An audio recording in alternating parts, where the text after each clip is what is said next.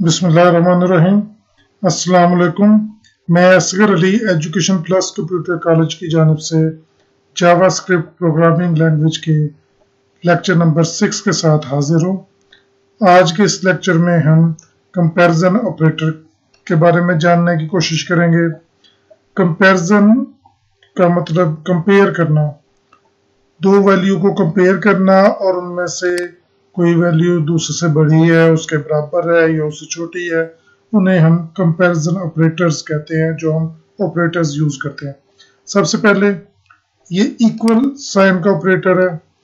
अगर हम फ़र्ज़ कर लेते हैं कि ए और बी दो वेरिएबल है ए की वैल्यू जो है वो, है टेन और बी की वैल्यू जो है वो ट्वेंटी है। तो इसका मतलब है कि ए और बी आपस में इक्वल नहीं है। इस, ये फ़र्स्ट कंडीशन देन फॉल्स होगी। ये ए इक्वल बी ये फॉल्स है। इज़ नॉट ट्रू मतलब ये फॉल्स है। और उसके बाद ये नॉट ऑपरेटर नॉट इक्वल का ऑपरेटर है। इसमें चूँकि दोनों वैल्यूज़ ए और बी आपस में इक्वल नहीं है तो यकीनन ये ए और बी नॉट इक्वल टू का मीन ये वैल्यू ट्रू है। इसी तरीके से ए जो है वो टेन है बी ट्वेंटी है ए ग्रेटर देन बी नहीं है, इसलिए ये भी फॉल्स है वैल्यू सेम इसी तरह A less than B yes A जो है वो वैल्यू में छोटा है बी से तो वो ट्रू है. अब कंडीशन यहाँ पे ट्रू है. अब आगे आगे ये थे सिंगल ऑपरेटर यहाँ पे यहाँ पे अब दो ऑपरेटर्स आ गए. ग्रेटर देन इक्वल अब इसमें से दोनों चीज़ें चेक होंगी। ए टेन है और बी ट्वेंटी है। इसका मतलब है कि ए जो है ग्रेटर नहीं है, लेकिन इक्वल देखेंगे इक्वल भी नहीं है। तो इसका मतलब ये दोनों वैल्यू जो दोनों जो कंडीशंस हैं या दोनों जो ऑपरेटर्स हैं, वो उनके मुताबिक ये ट्रू नहीं है फॉल्स है। सेम आगे चलते हैं।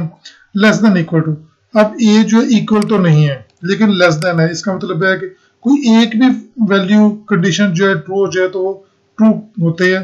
इसलिए A less than equal to का मतलब है कि ये ट्रू है। उसके बाद हम एक प्रोग्राम करते हैं। यही चीज़ें हम प्रोग्राम की तरह की मदद से समझने की कोशिश करते हैं। ये हमारे सामने एक प्रोग्राम है। मैं इसको कंपाइल करके रन टाइम पर आपको समझाने की कोशिश करता हूँ। और देखने में बड़ा प्रोग्राम है लेकिन बहुत ही आसान है। इसको मैं आ, पहले प्रोग्राम को मैं डिलीट कर देता हूँ। यहाँ पे मैं इसको पेस्ट करता हूँ। तो ये हमारे सामने प्रोग्राम है। इसमें हमने वैल्यू 10 और 20 दे दी। ए को 10 बी को 20 अब ये एक जैसे पिछले प्रोग्राम में मैंने गाइड किया था कि ये एक ब्लॉक है सेम इसी तरह के बाकी ब्लॉक्स होंगे। फ़र्क कहाँ पे पड़ता है? ये जो ऑपरेटर्स हम यूज़ करते हैं। कंडीशनल ऑपरेटर है या असाइनमेंट ऑपरेटर है या अरिथमेटिक ऑपरेटर है, जो भी ऑपरेटर आप यूज़ करते हैं, उनसे फ़र्क पड़ता है। अब पहले आपने ब्लॉक में ए इक्वल टू बी लिखा, जो कि इक्वल नहीं है तो कंडीशन फॉल्स है। ए टेन है बी ट्वेंटी है। मैं इसको थोड़ा सा जूम भी कर देता हूँ। ए टेन है बी ट्वेंटी है, इसका मतलब है पहली कंडीशन आपकी फॉल्स आई। उसके बाद नेक्स्ट पे चलते हैं नेक्स्ट ब्लॉक पे A less than B yes A small है और बी की वैल्यू ज़्यादा है ए की कम है। तो इसका मतलब है कि ये कंडीशन ट्रू है। ये हम नेक्स्ट आउटपुट पे जाते हैं तो यहाँ पे ये वैल्यू ट्रू है। अब हम आते हैं थर्ड ब्लॉक पे। यहाँ पे आके हम देखते हैं कि ए जो है, उसकी value A greater than B ये इसमें। तो ए ग्रेटर देन बी नहीं है चूँकि ए टेन है बी ट्वेंटी है तो ये फॉल्स होगी। ये आपकी थर्ड जो आ, आपकी वैल्यू है ये जो रिज़ल्ट है वो, वो फॉल्स है। इसके बाद हम A not equal to B yes A जो है वो बी के इक्वल नहीं है। ए टेन है बी ट्वेंटी है। इसका मतलब है कि ए जो है, ये कंडीशन फॉल्स है, ये ट्रू नहीं है तो ये कंडीशन सॉरी ये कंडीशन ट्रू है, क्योंकि ए इसमें पूछा गया कि A not equal to B A ये बी के इक्वल नहीं है। इसका मतलब है कि ये कंडीशन ट्रू है, क्योंकि ए और बी दोनों में फ़र्क है ए ट्वेंटी है ए टेन है बी ट्वेंटी है तो इट मीन्स ये जो कंडीशन है, यहाँ पे ये ट्रू है, क्योंकि इसमें जो लिखा है ए बी के बराबर नहीं है तो वो ट्रू है तो इसलिए ये वेल ये कंडीशन हमारी ट्रू होगी। अब नेक्स्ट चलते हैं। इसमें A greater than equal to B A ना तो ग्रेटर है, ना ही ये इक्वल है। क्योंकि ए जो है टेन है, ये लेस देन इक्वल टू में तो ठीक है, लेकिन ग्रेटर देन इक्वल टू में नहीं ठीक है, क्योंकि इक्वल तो है ही नहीं, और ग्रेटर भी नहीं है। तो इसका मतलब ये हमारी कंडीशन फॉल्स है। अब आखिरी ब्लॉक में चलते हैं। इसमें less than equal to A equal तो नहीं है, लेकिन लेस देन है। दोनों में से कोई एक ऑपरेटर भी सही हो तो इसका मतलब है हमारी पूरी जो कंडीशन है ट्रू है। तो इसमें ए चूँकि टेन है बी ट्वेंटी है ए जो है बी से लेस देन है।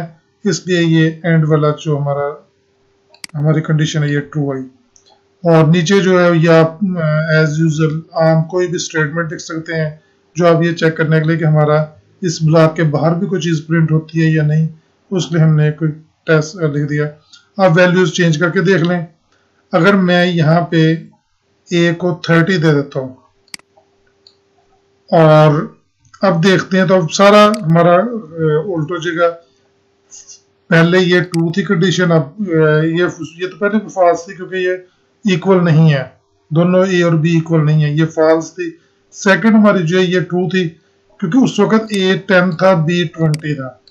और ए लेस देन बी है तो इसका मतलब था कि ये कंडीशन टू थी उस वक्त, लेकिन अब फॉल्स होगी नेक्स्ट में ए जो है, वो ग्रेटर देन बी यस अब पहले नहीं था, अब है। अब ए थर्टी हो गया और बी ट्वेंटी है। इसका मतलब है कि ए जो है ग्रेटर देन बी है तो ये ट्रू होगी, ये कंडीशन इसी तरीके से A not equal to B yes ये ट्रू है, क्योंकि ए बी के इक्वल नहीं है, अभी भी नहीं है पहले भी नहीं था. तो ये ट्रू है कंडीशन क्योंकि ये हमारे जो ना कंडीशन के मुताबिक ए बी के बराबर नहीं है. तो इसका मतलब ये कंडीशन ट्रू है. उसके बाद A greater than B yes A equal नहीं है इक्वल का भी आ गया साथ में इक्वल तो नहीं है, लेकिन ग्रेटर देन है। इसका मतलब है कि ए जो है ग्रेटर देन बी ये कंडीशन ट्रू है हमारी।